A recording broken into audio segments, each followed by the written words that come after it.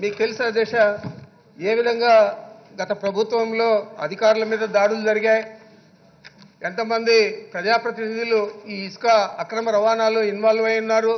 ఎంతమంది ఒక నిజంగా ఒక మహిళా అధికారి మీద వనదశ మీద ఎంఆర్ఓ మీద జరిగితే సాక్షాత్ సాక్షాత్ ముఖ్యమంత్రి గారు తన ఛాంబర్కు పిలిచి ఆమె కౌన్సిలింగ్ చేశారు కానీ వాళ్ళ శాసనసభ్యుడు ఏ విధంగా కూడా దండించలేదు అధ్యక్ష.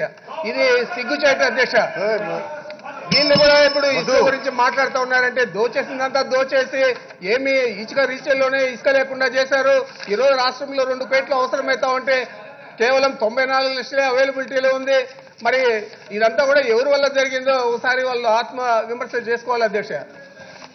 మా లేటెస్ట్ వీడియోస్ని చూడాలంటే కేఎస్ఆర్ టీవీ యూట్యూబ్ ఛానల్ని తప్పక సబ్స్క్రైబ్ చేయండి. అలానే పక్కనున్న బెల్ బటన్ని క్లిక్ చేసి నోటిఫికేషన్ని పొందండి.